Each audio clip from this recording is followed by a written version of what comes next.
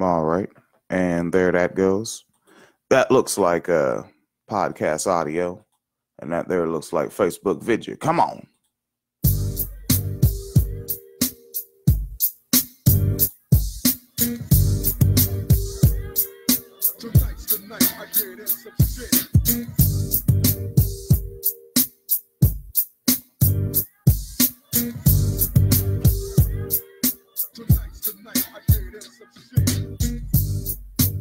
In Father Teresa's Wine Cellar, we believe all oppression is intersectional. And this means our analysis of current events frequently includes discussion of difficult and explicit content. Any combination of the following topics could be included in our show murder, rape, war, climate change, racism, sexism, violence, sexual violence, homophobic violence, heterocentrism, discrimination and abuse against individuals of nonconformist sexuality, domestic violence, child abuse, child rape, child neglect, elderly abuse, verbal abuse, police brutality, microaggressions, ableism, cyberbullying, genital mutilation, ideological extremism, and people just being total fucking assholes. All right. WineCellarMedia.com, uh, PayPal.me slash Phoenix and William, Patreon.com slash WineCellarMedia Fund, Patreon.com, almost at the 50, uh, 48 folks uh, signed up to the Patreon.com. And um, Phoenix Calida has a two weeks notice in, and um, the boss, the which is because she works at the office of a church, it's the pastor, um, would like to, you know, maybe have a meeting, see if we can hash things out this Thursday. Someone gives you a two weeks notice Monday last week, which frankly should make this the last week, but she's being nice, so it looks to my eye looks more like a three week notice, right? Because you're giving it to a Monday, and then the following two weeks are going to be your last weeks. Nigga, that's three weeks. But um, this motherfucker don't want to talk till Thursday the next week. Nigga, nigga. I know you're not doing much uh, at about mm, 12 p.m. Sunday because you know white churches they get out quick and fast. All right.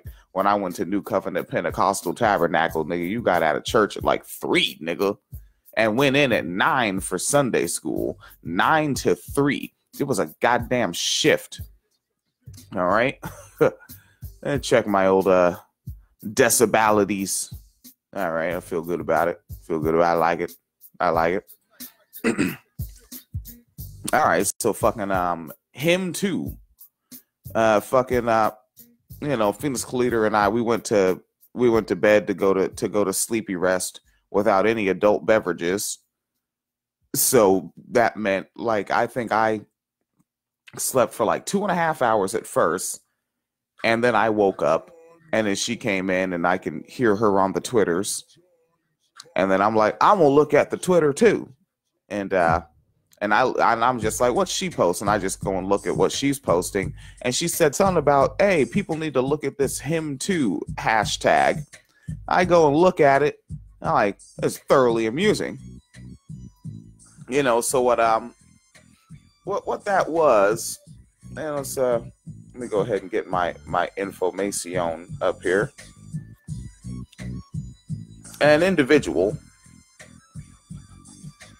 was uh Blue Star Navy Mom 3 uh, put a picture up of her son and said, uh, This is my son, capitalized the MY. This is my son. He graduated number one in boot camp. He was awarded the USO award. Uh, he was number one in a in a school. Number one in a school. I he is a gentleman who respects women. He won't go on solo dates due to the current climate of false sexual accusations by radical feminists with an axe to grind. I vote hashtag him too. And her other son put up a picture of them together, you know, because evidence, and said, My brother is trending on Twitter because my mom's ridiculous tweet. I'm a mixture of laughing hard and feeling bad for him. And then um, a nigga named Emily Tim jumped in the joint and she was like, uh, it's nothing against him. I'm sure she, he's everything your mom said, but I'm pretty sure he's comfortable dating. Your mom needs to turn off the hashtag Fox News. And he said, my, my little, you know, throw the ableism him. My mom is crazy. She just loves attention. I guess she got it. And another motherfucker said, named Danson John Hanson. Oh no, the reply. Oh, Danson John Hanson is the brother, and um, this person said uh, their name on Twitter is "We have no healer in chief," and they said, "Uh, so is he actually afraid to date, or did your mom completely make that up?" And Dancing John Hanson said she made it up. Uh, she posted a few times on Facebook trying to get him a date. He doesn't need her help.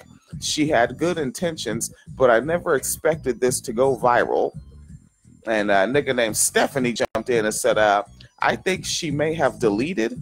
And he said she claimed her account was hacked and she didn't tweet that.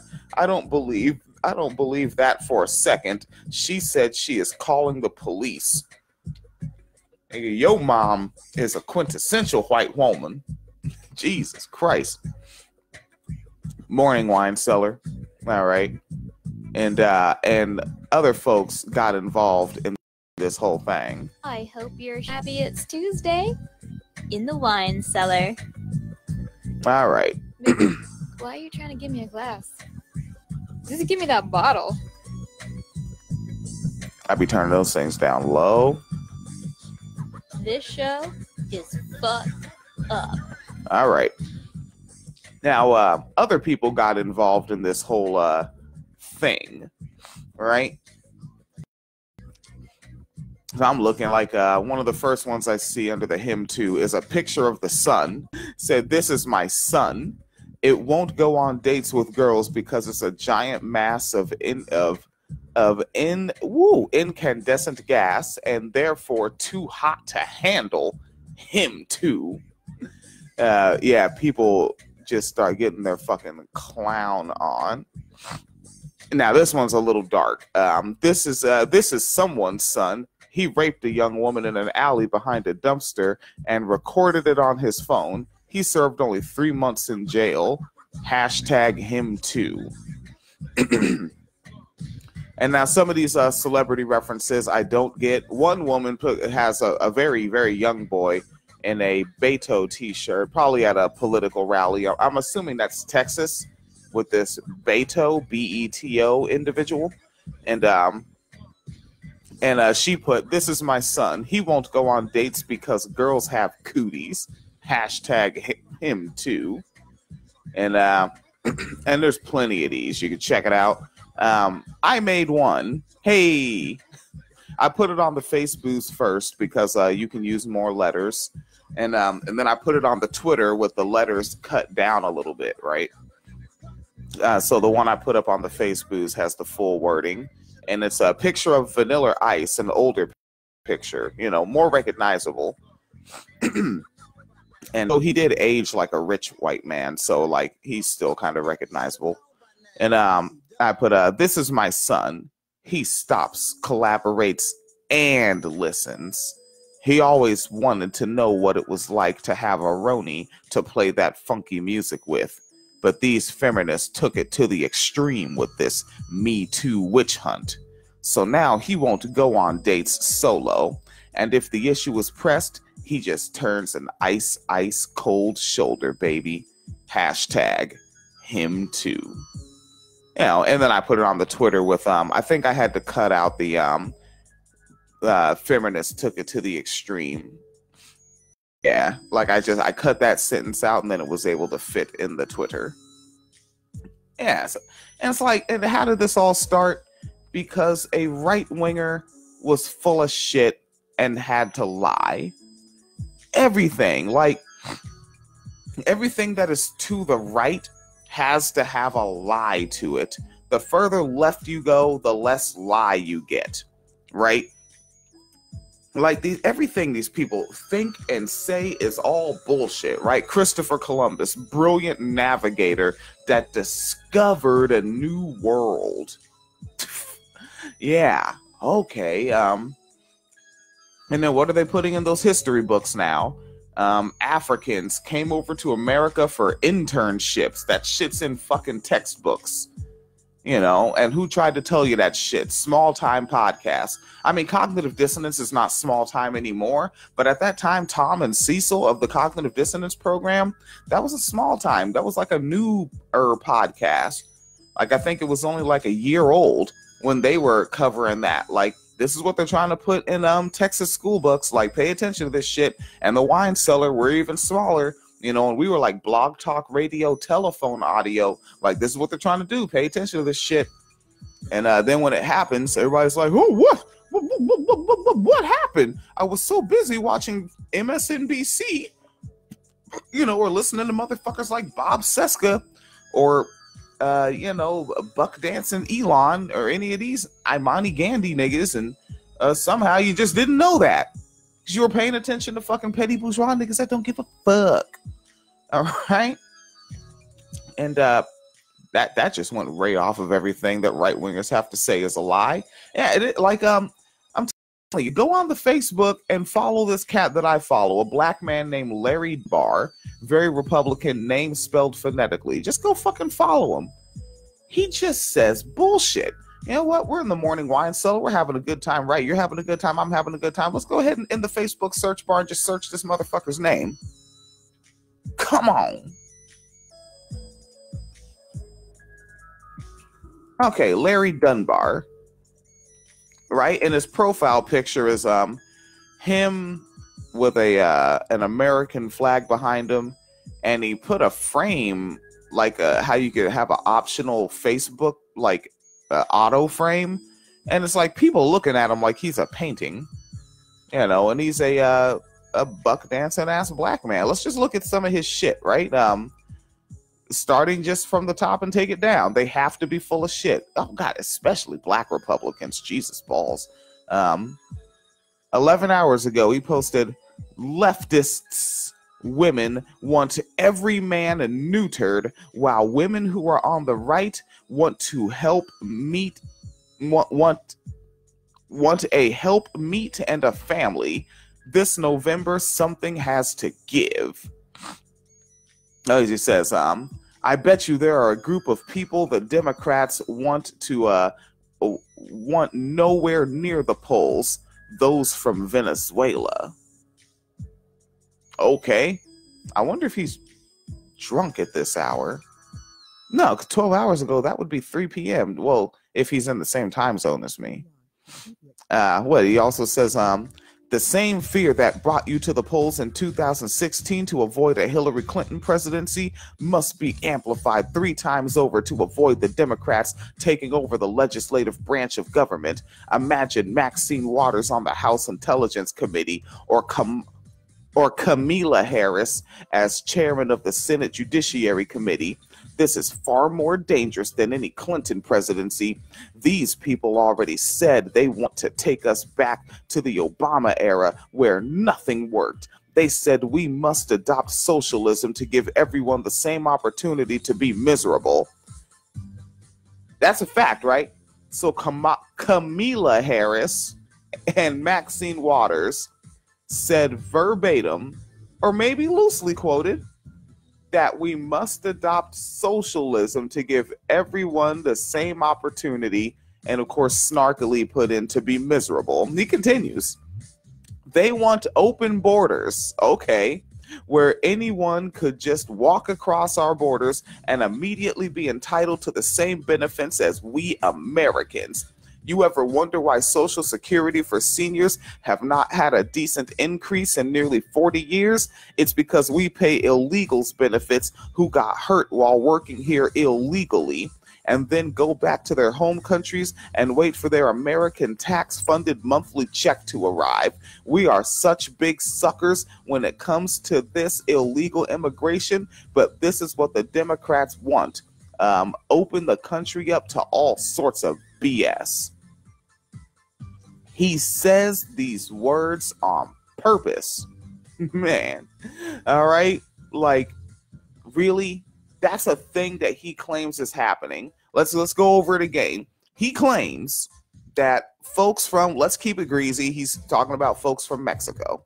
He's claiming that folks from Mexico are coming here, getting jobs, getting hurt on those jobs, and then going back to Mexico and getting a check every month.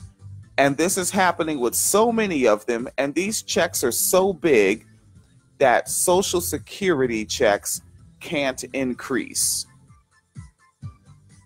Like, this is just freestyling. Like, unless I like, if, if there is some sort of podcast or something he listens to, I want to know. I want to motherfucking know what the hell he's listening to. All right. 100%. All right. Now, uh, th- that that's the kind of shit like right wingers have to be full of shit. You guys see, um, archive chat space not active. I mean, of course, it's uh 3:38 a.m. Uh, Tuesday morning wine cellar, October 9th, 2018. Uh, PayPal.me slash Phoenix and William, Patreon.com slash Wine Cellar Media Fund. Thanks to motherfuckers hitting that shit up.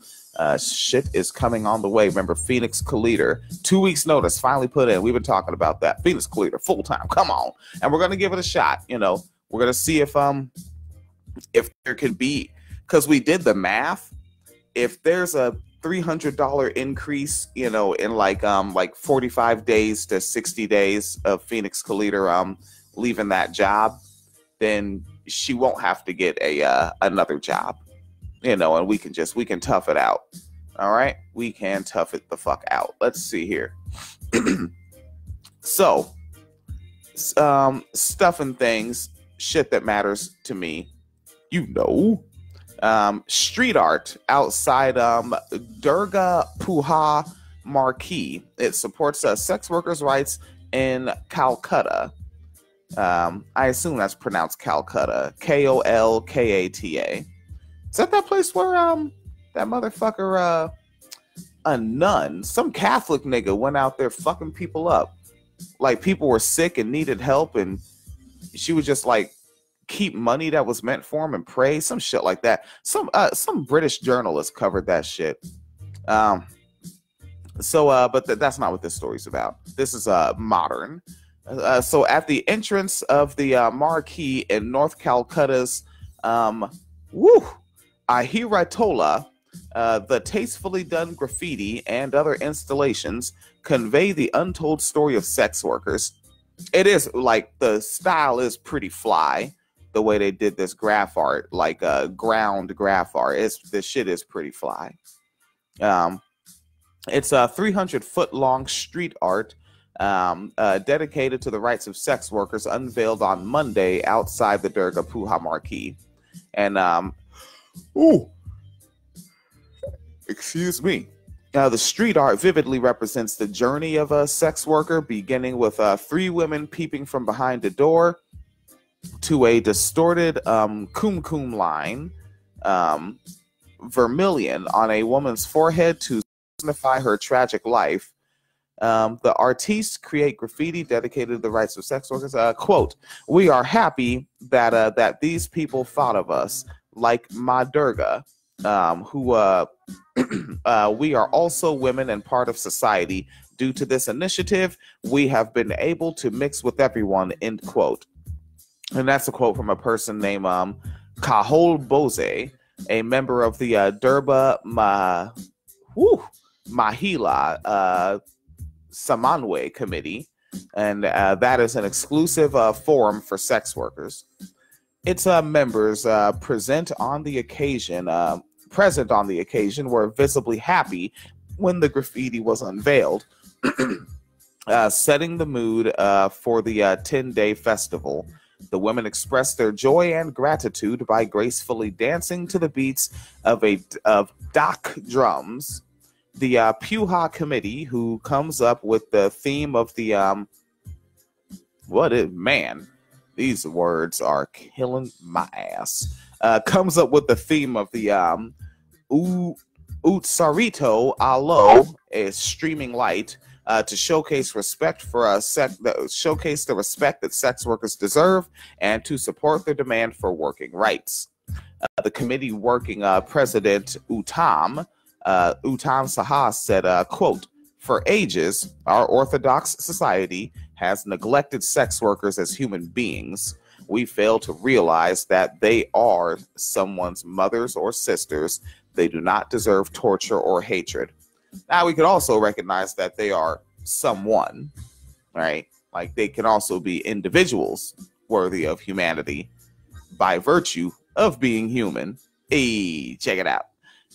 uh, continuing a uh, quote from a committee member, they said, um, they spend their lives in science, silence, and face humiliation and rejection. Uh, we are hence determined to support the journey of these sex workers with a pledge to ensure basic rights to them so that they can live with their heads held high. End quote. And then this one, Jesus Christ, a lot of adults need to get punched in the motherfucking face for this shit. Um, this was put up uh, by uh, Ruardith Mar on October 6, 2018 and um, school administrators couldn't decide whether a student should be sheltered with boys or girls, so they left her outside. A transgender student was separated from her peers during a mass shooter drill in a Virginia middle school, middle school as school administrators debated where to send her.